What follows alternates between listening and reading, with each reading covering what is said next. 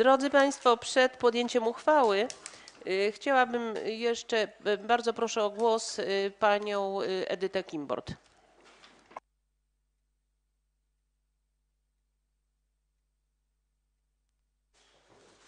Witam Państwa. E, Ja chciałam się odnieść do trzech kwestii, które były poruszane w Państwa pytaniach.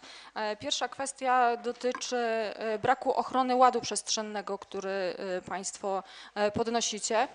Ja chciałam tylko wskazać na kwestię taką, którą Państwo w ogóle nie poruszyliście, że w, właśnie w 2018 roku były podjęte przez Radę Miejską cztery plany miejscowe. Zostały zainicjowane prace nad trzema innymi planami, które są w trakcie opracowywania. Rozpoczęte zostały zmiany e, planów, które e, zostały sporządzone z pewną wadą. E, Także to są prace, które zostały rozpoczęte, zainicjowane e, w zeszłym roku. Uchwalone plany były konsekwencją prac rozpoczętych w tej kadencji. To są przez ostatnie cztery- trzy lata prowadzone były prace. E, Jedynie ochronić ład przestrzenny można poprzez plany miejscowe, czyli e, wcześniejszy brak tych planów skutkuje właśnie tym, e, jak miasto zostało zabudowane w chwili obecnej, jak się zabudowywuje, w jakim kierunku się zabudowuje. Ponieważ nie, nie były realizowane studium, które zostało przyjęte w 2007 roku. To w pierwszej kwestii chciałam się odnieść e, taką uwagę. E, Druga kwestia to jest podniesione przez Państwa nowe centrum, które jest procedowane, y, ono jest procedowane około trzech lat. E, W tej chwili, jak e, Państwo wiecie o tym, e, plan zgłosiliście Państwo na początku kadencji uwagi do tego planu. To zgłoszone zostały przez radnych plan ujęcia innych form komunikacyjnych to na ulicy Słonecznej. Na skutek interwencji inwestora, który jest zainteresowany działką, którą Państwo przychyliliście się e, do wniosków zgłaszanych przez inwestora, e, te prace niejako wróciły do początku w sensie takim, że są, był stworzony, e, poprawiany był projekt, te uwagi, które Państwo zgłosiliście, plus projekt jest w tej chwili uzgodnieniu u konserwatora, będzie ponownie wykładany i będzie ponowna dyskusja nad tym planem i będzie przedstawiony do uchwalenia. Nowe centrum o tyle nie ma zagrożeń dla inwestycyjnych, ponieważ jest to teren, który jest objęty już planem miejscowym, czyli to nie jest plan, e, nie jest to teren dziewiczy, na którym my wydajemy warunki zabudowy, czyli tutaj nie ma zagrożeń takich, które wiążą się z niekontrolowanym rozwojem e, e, inwestycji w mieście.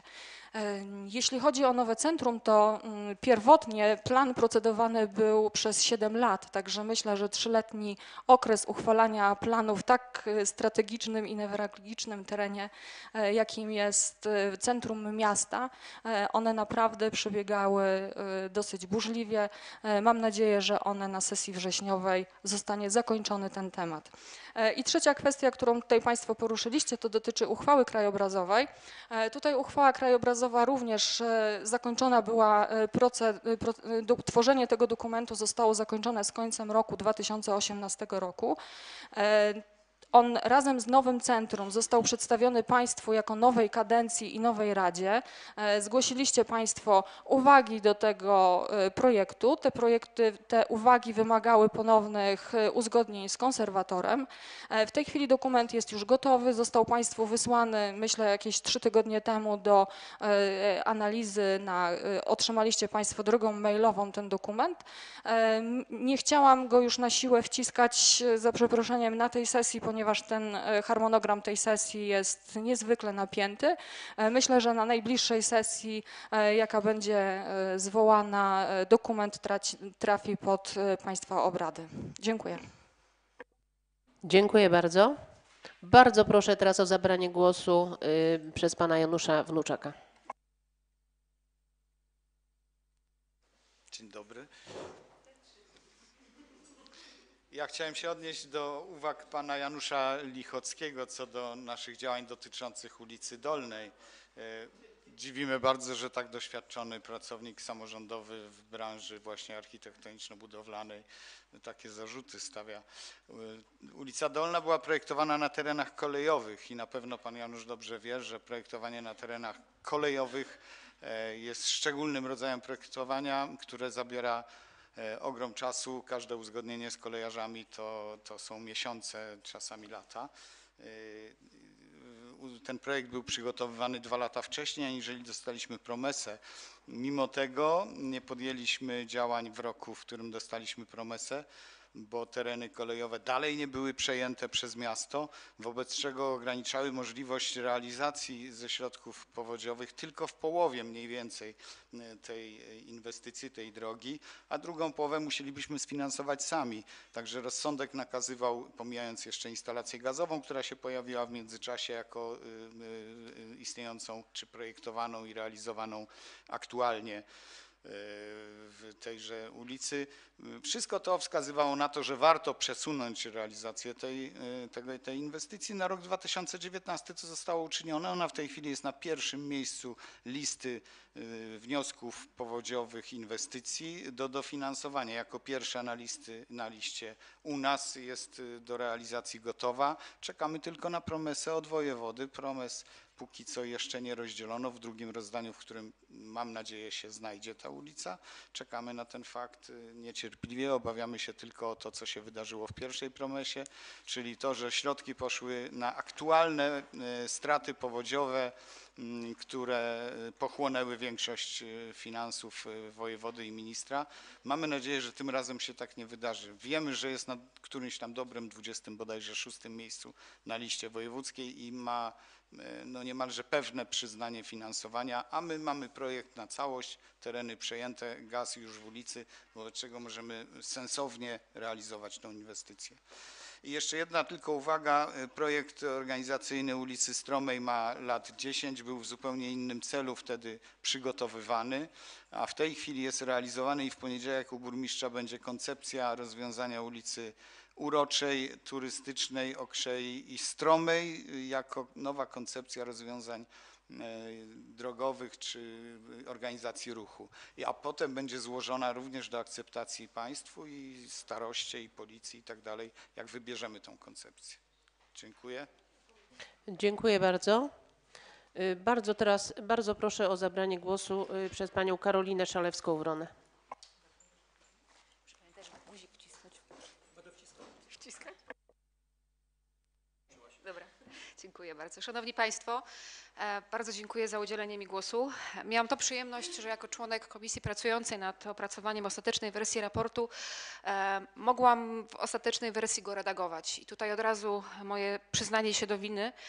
E, Zapis o powiecie śremskim, który mnie zawstydza, nie powinien się był znaleźć. Moje, moje pewnie jakieś przeoczenie, które, tak jak mówię, zawstydza mnie i za które przepraszam. Raport to efekt pracy właściwie wszystkich pracowników Urzędu Miejskiego. Wszyscy się zaangażowaliśmy, wszyscy poprawiali, uzupełniali. E, Czy on jest doskonały? Oczywiście, że nie. Czy jest bardzo dobry? Nie. Czy jest dobry? W mojej ocenie moglibyśmy taką ocenę mu przyznać. E, Jest pierwszym raportem. Dajcie nam Państwo szansę ocenić, przygotować kolejny i ocencie proszę raport, który przygotujemy w roku 2020. Myślę, że wtedy będziemy mogli odnieść się do tego, za rok 2019, tak, ale przygotowany w roku 2020. Ten raport przyszłoroczny powinien być takim rzetelnym punktem odniesienia dla Państwa, dlatego że wtedy faktycznie odniesiemy się do danych z roku 2018. Będziemy mogli e, w bardziej pogłębiony sposób przygotować ten raport. Przygotowywaliśmy go e, w naszej ocenie e, według struktury, która wydawałaby być nam jak najbardziej słuszna i myślę, że w, ogromnej mierze musicie Państwo zgodzić się ze mną, że on jest, ujmuje wszystkie polityki podejmowane i wszelkie działania podejmowane przez miasto, że nie jest w pełni, e, że nie jest kompletny, zgadzam się z Państwem w całej rozciągłości. Już po jego opublikowaniu, przypomnę 22 maja, zwróciliśmy uwagę na kilka elementów, które powinny były się zają- e, w nim znaleźć. Nie uzupełnialiśmy tego, wychodząc z założenia, że wszystkie uwagi, które trafiały również do mnie ze strony mieszkańców, bo ta dzisiejsza debata oczywiście jest kluczowym elementem rozmowy nad tym raportem, natomiast ja spotykałam się z mieszkańcami, którzy przychodzili, pokazywali, słuchajcie, tutaj można coś zmienić, dopisać, poszerzyć, trochę więcej, może trochę mniej. Wiele w tym raporcie jest do poprawy, ale myślę, że to jest po prostu dobry materiał do pracy na rok przyszły i tak sobie też stawiam to zadanie. Jeśli będę miała przyjemność pracować z Państwem w roku kolejnym i będę miała okazję być członkiem e, ekipy pracującej nad kolejnym raportem, to myślę, że wiele uwag uwzględnimy. Ten rok jest w ogóle rokiem takim szczególnym w Szklarskiej Porębie. Wiele rzeczy zdarza się po raz pierwszy. Dzisiaj mija pół roku, odkąd jestem e, w urzędzie e, i przez te pół roku zauważyłam wiele ciekawych rzeczy. Zrobiliśmy budżet obywatelski z Państwa udziałem. Przecież to się udało. Oczywiście ktoś powie, projektów jeszcze nie ma, ale one są obecnie wszystkie, cała dokumentacja rzetelnie przygotowana jest u konserwatora. Czekamy na dokumentację, na ostateczne wersje i będziemy to realizować. Zrealizowa- udało nam się uzyskać dofinansowanie na kilka ciekawych projektów, między innymi punkty widokowe, ponad 4 miliony złotych. E, Ale to nie jest mój sukces. To, to nie jest tak, że to są projekty, które ja przygotowywałam. Ja miałam okazję finiszować te tematy, miałam okazję przygotowywać ostateczne wnioski, ale to jest efekt pracy w roku 2018. Więc do tych 10 milionów faktycznie, o których wspominał pan radny Kozioł, dorzuciłabym kolejne 4,5 miliona, bo projekt punktów widokowych, czy też projekt skweru Ducha Gór, to nie są projekty, które składałam w tym roku.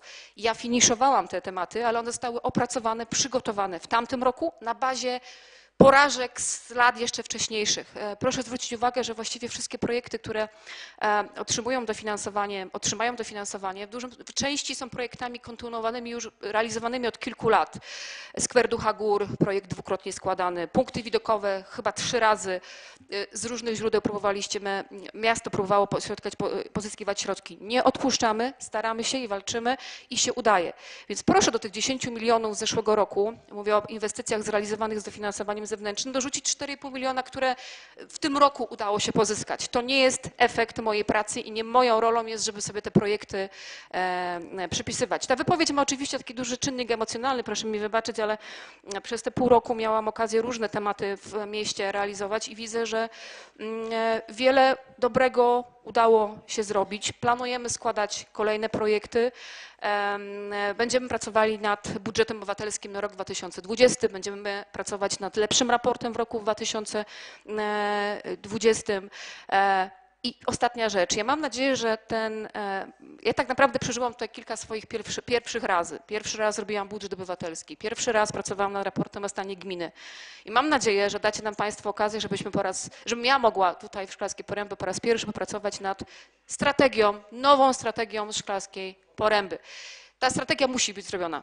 Przyznaję, jak usłyszałam pracując nad em, raportem, że mamy strategię z roku 2001, to z doświadczenia pracy w Urzędzie Miasta w Poznaniu, doświadczenia pracy w Urzędzie Miasta w Jeleniej Górze, bo tam zaczynałam w tych dwóch miastach e, miałam okazję pracować jako urzędnik administracji samorządowej.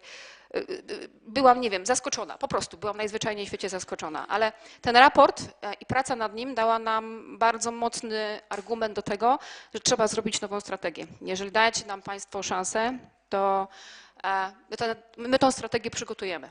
Już z Państwa udziałem. Bardzo o ten udział i o to zaangażowanie proszę, tak jak to zaangażowanie widziałam przy e, budżecie obywatelskim. Ja wszystkie uwagi krytyczne, e, nie mówię krytyczne, nie mówię negatywne, ja wszystkie uwagi starałam się i staramy się e, ujmować i one były ujmowane na etapie realizacji budżetu obywatelskiego, przy raporcie w miarę możliwości. Będziemy również brali je pod uwagę przy opracowywaniu strategii. Bardzo bym chciała, żeby strategia, nad którą już wiem, bo rozmawiałam z koleżankami z Urzędu Miasta, od kilku lat e, e, prowadzone są wstępne rozmowy. Chciałabym, żeby ta strategia pracy dokładnie nad nią już w tym roku, że tak powiem, nabrały wiatru w żagle, czyli żebyśmy mogli w tym roku tą strategię e, po prostu zacząć realizować i wdrażać. I być może w przyszłym roku, może w przyszłym roku jeszcze nie, ale w roku 2021 poza oceną raportu o stanie gminy będziemy mogli oceniać sprawozdanie z realizacji nowej strategii miasta Szklarska Poręba. Tego sobie i Państwu życzę. Bardzo proszę o e, wspieranie naszych działań, bo uważam, że obserwując Szklarską Porębę, tak jak mówię, z perspektywy pół roku mojej obecności tutaj i z doświadczenia pracy w innych samorządach, uważam, że naprawdę jako ja i moi koledzy, koleżanki, już nie wspominając o przełożonych, bardzo staramy się uwzględniać Państwa sugestie. W tamtym tygodniu trzykrotnie spotykaliśmy się z mieszkańcami. Proszę zwrócić uwagę, ile było spotkań odnośnie budżetu obywatelskiego. W trakcie tych spotkań poruszamy nie tylko tematy budżetu, czy raportu, czy odpadów, poruszamy wiele innych e, tematów. E, I w mojej ocenie dużo dobrego się działo. Jeżeli Państwo nam pomożecie, i aktywnie się zaangażujecie, to myślę, że ten raport, który tak jak mówiłam, oceniam jako dobry. On nie jest bynajmniej e, bardzo dobry, o idealnym nie wspomnę, ale jest pierwszym. Dajmy sobie szansę, żeby w przyszłym roku móc ocenić raport już drugi, który mam nadzieję po prostu będzie lepszy. To tyle bardzo emocjonalnych uwag. Bardzo dziękuję za uwagę. Dziękuję bardzo. Ad vocem radny Kozioł.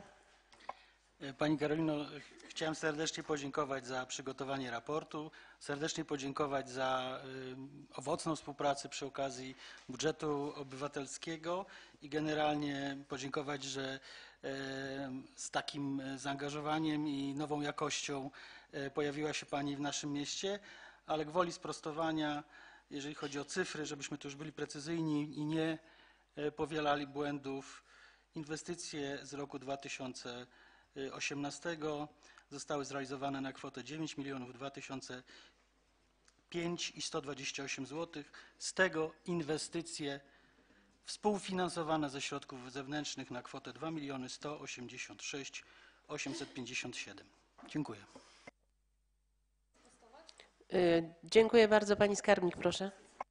E, To właśnie może te inwestycje byśmy omówili, drodzy Państwo, bo jeżeli jesteśmy przy tym załączniku, to może ja powiem, które inwestycje jakie dostały dofinansowanie. Przebudowa ulicy Kołątaja, dofinansowanie 1 120 000. Budowa ścieżek rowerowych, dofinansowanie 1 244 596 tysięcy. Czyli gdzie następuje refundacja, drodzy Państwo, to dobrze. Kołątaja, dofinansowanie rozliczone w 2018. Następnie budowa budynku socjalnego też zakończona i y, zwrócona w całości y, dotacja 623 750 zł. Następnie Bednarz, dokładnie. Natomiast jeżeli chodzi o ścieżki rowerowe, ta dotacja została przyznana, tylko Państwo sami wiecie, że względów na wichury, na sytuację kryzysową zostało to zadanie przesunięte na ten rok, ale dofinansowanie otrzymaliśmy. Dziękuję.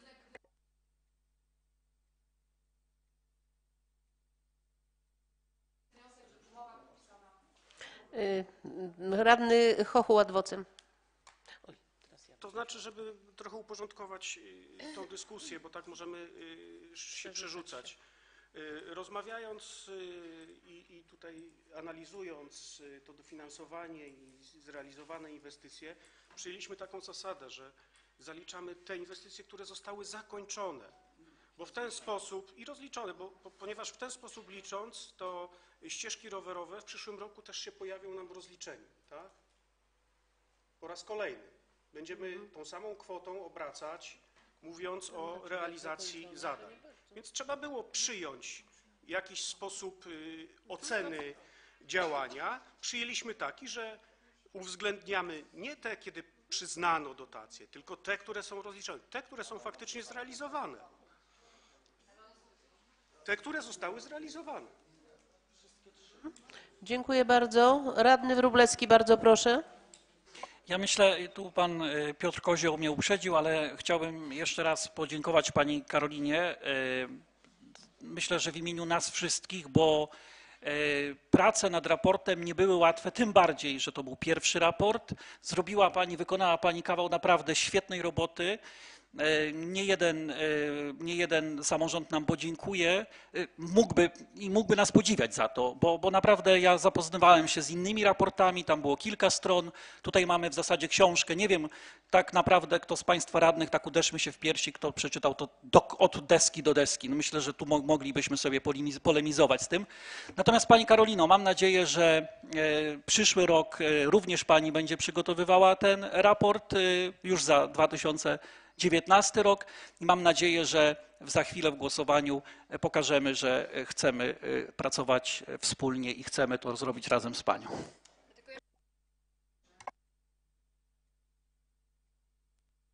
Ja tylko redagowałam ostateczną wersję raportu. Treści, wiedza, zakres to są wszystko informacje pozyskane z jednostek organizacyjnych, z referatów. To nie jest mój raport. To nie jest tak, że ja jestem autorką i od początku do końca każde słowo jest moje. Ja tylko zbierałam to w jakąś całość, w ścisłej współpracy z panem sekretarzem. Ale to nie są moje słowa, to nie jest moja praca, to jest praca wszystkich referatów, jednostek. Chwaliliście Państwo MOPS, ja mogę pochwalić Biuro Promocji, mogę pochwalić MOKSial, e, szkoły, wszystkie referaty, które mnie, które wspierały nas, bo to cały zespół pracował nad tym raportem, więc proszę, nie przypisuję sobie autorstwa i chcę, żebyście Państwo o tym e, wiedzieli. To jest praca wszystkich, tak jak mówiłam na początku, wszystkich urzędników, bo autentycznie nie znam osoby, która nie, w jakiejś części nie przygotowywałaby swojej wypowiedzi do tego raportu. I tam są słowa różnych osób. Jak Państwo widzą, powiat śremski przepuściłam, czyli rada- redagowanie też nie do końca było tak skuteczne, jak być powinno. Ale to nie jest moja, tylko moja praca, albo to w ogóle nie jest moja praca, bo ja tylko to zbierałam jakby w taką ostateczną postać. Dziękuję wszystkim, którzy mi pomagali, którzy przygotowywali tą część, e, e, ten wkład merytoryczny e, i to jest jakby kluczowe, żeby to jeszcze raz podkreślić. Dziękuję bardzo. Dziękuję bardzo. Ja myślę, że pan burmistrz w naszym imieniu podziękuje wszystkim pracownikom za pracę włożoną w ten raport. Prawda, panie burmistrzu? Oczywiście mam nadzieję, że mój zastępca słucha, słucha tej debaty, bo on był przewodniczącym tej komisji, także Zbyszku też Tobie dziękuję. To co, drodzy Państwo, nie ma już więcej mówców. Przechodzimy zatem do podpunktu trzeciego, czyli podjęcie uchwały w sprawie udzielenia burmistrzowi Szklarskiej Poręby wotum zaufania. Projekt uchwały przedstawi radny Mirosław Chochu, przewodniczący Komisji Rewizyjnej. Bardzo proszę. Projekt uchwały Rady Miejskiej w Szklarskiej Porębie. Projekt uchwały Rady Miejskiej w Szklarskiej Porębie w sprawie udzielenia wotum zaufania burmistrzowi Szklarskiej Poręby. Na podstawie obowiązujących przepisów Rada Miejska w Szklarskiej Porębie uchwala co następuje. Paragraf pierwszy. Po zapoznaniu się z raportem o stanie gminy za rok 2018 udziela się wotum zaufania burmistrzowi Szklarskiej Poręby. Paragraf drugi. Uchwała wchodzi w życie z dniem podjęcia. Dziękuję bardzo.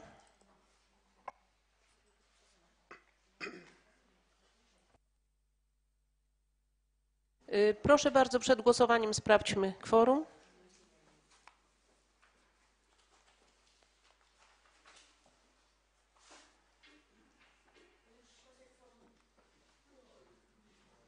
No i tam, no i tam. Rozpoczynamy głosowanie. Kto z Państwa jest za przyjęciem uchwały w sprawie udzielenia burmistrzowi Szklarskiej Poręby wotum zaufania? Proszę podnieść rękę, kto jest za. Kto jest przeciw? Kto się wstrzymał? Dziękuję bardzo. Y, Przy siedmiu głosach za, przy ośmiu wstrzymujących uchwała y, nie została podjęta.